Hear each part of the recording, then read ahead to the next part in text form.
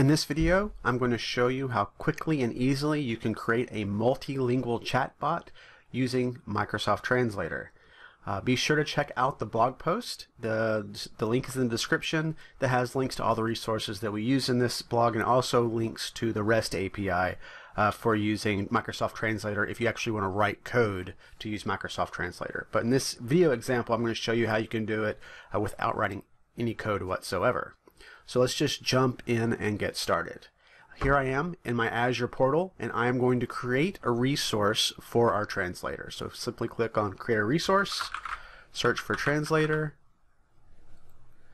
and let's create that. So from there, choose your subscription, choose your resource group or create a new one, uh, choose your resource region. Uh, please note it says please choose the global region unless your business or application requires a specific region. So I am going to follow directions and choose global. Let's give it a name. We'll call it PateBot Translator and choose the pricing tier. And you can see that for the free pricing tier, we get up to 2 million characters translated per month. Uh, that's a good number to get started with. And then you can go up to the paid as you want to. Um, again, be careful with pricing.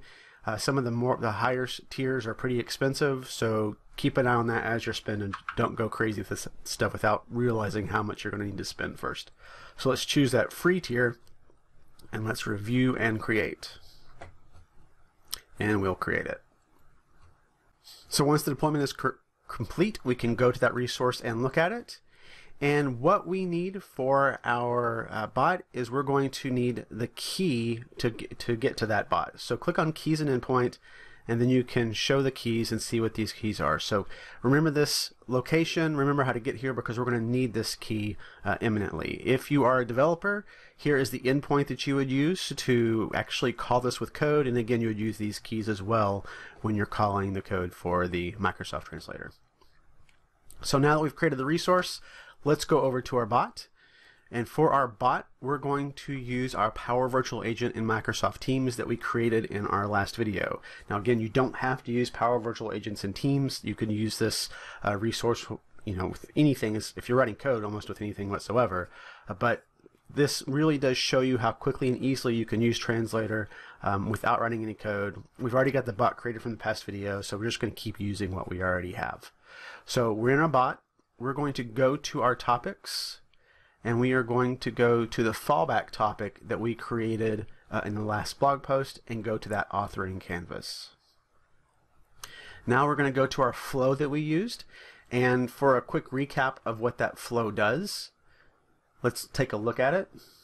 So in the flow that we created in our previous video and blog post, the user asks a question of the Power Virtual Agent the Power Virtual Agent sends that question to LUIS, where LUIS determines the intent of the question that the person was asking.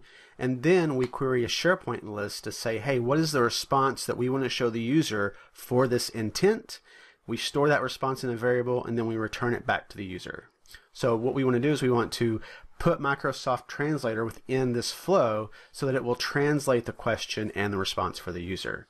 So the first thing we need to do though is we need to know what language is the user asking the question in because we want to make this bot work for any language. So let's insert an action and let's do a search for translator. And here we see Microsoft Translator and what we want to do is we want to detect language. We want to detect which language they're asking. Now, the first time you use uh, the translator, it's going to ask you for a connection. So let's go ahead and set up a new connection so you guys can see what that looks like. It's going to ask you for a connection name. We'll call this Pate Translator. And now it's asking for the subscription key. That is where we go to back to our uh, Azure resource and we go to our key and we copy that and we paste that into the subscription key and create that connection. So now it's asking us for the text to translate, and that text is going to be the question that comes from Power Virtual Agents. So now what this is going to do is it's going to detect that language for us. So let's go ahead and store that language that was detected in a variable. So let's initialize a variable. We will call it language. Going to be a string, and the initial value will be language code. Okay, so we've now retrieved the language that was detected by translator and we've stored it in the variable. The next thing we want to do is we want to translate the text of the person of the question that was asked. So let's add another action and it's going to be again using translator and we want to translate text. So it's asking us our target language. The target language is going to be English because we're using LUIS and we're using our response in SharePoint and all those languages, all that information is stored in English. So our target language needs to be English, but look at all these languages you have to choose from. I mean, so many languages.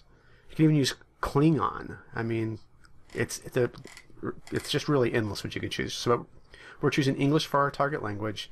The text to translate, again, is going to be the question that was entered.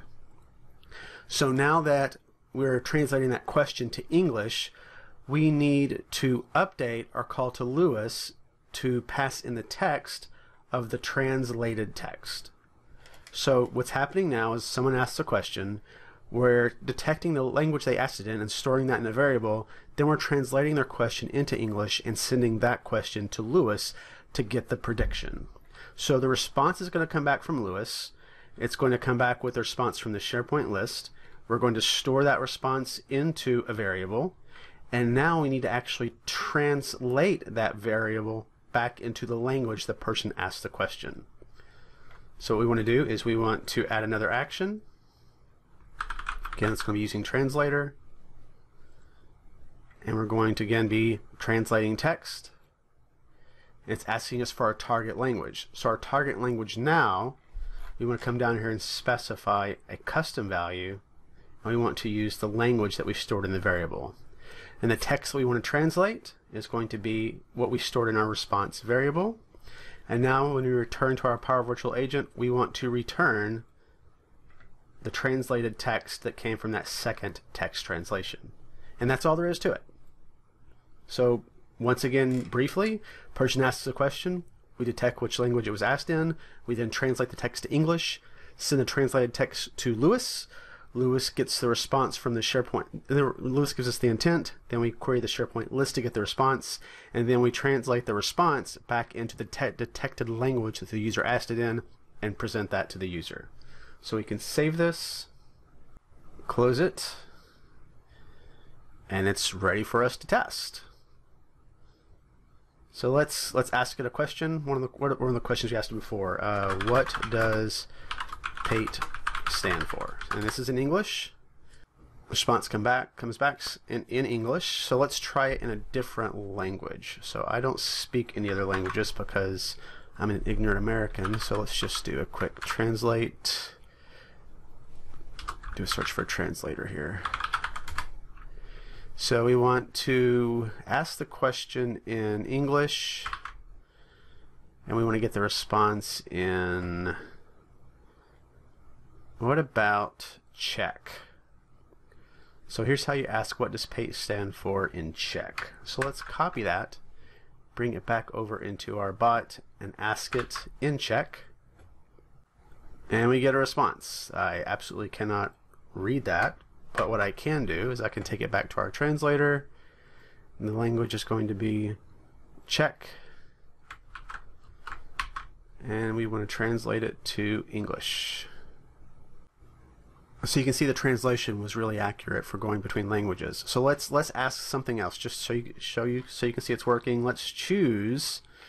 Uh, how about Korean? This has got a weird character set. So we want to ask let me ask a question. Let's see. What is. Tell me a joke. And we want to translate that to Korean. And that's what that looks like in Korean. Tell me a joke. So let's copy that. Put it in our bot. See what kind of response we get. There's our response. Again, I cannot read that, but let's take it to our translator where we want to translate from Korean to English. And translation, why do seagulls fly over the sea? Because if they flew over the bay, it would be a bagel.